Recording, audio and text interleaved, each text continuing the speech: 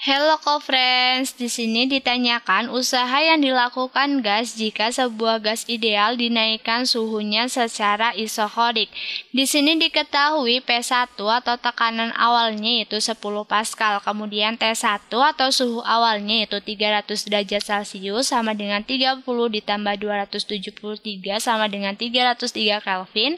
Kemudian T2 atau suhu akhirnya itu 60 derajat Celcius sama dengan 60 ditambah 273 sama dengan 333 Kelvin. Ditanyakan berapakah W atau usaha yang dilakukan gas tersebut.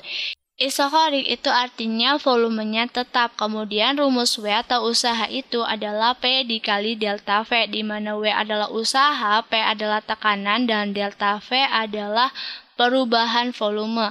Karena isokorik atau volumenya tetap, maka tidak ada perubahan volume atau delta V sama dengan 0 meter kubik atau perubahan volumenya yaitu 0 meter kubik sehingga W sama dengan 0 Joule. Maka usaha yang dilakukan gas tersebut adalah 0 Joule dan jawabannya yang E.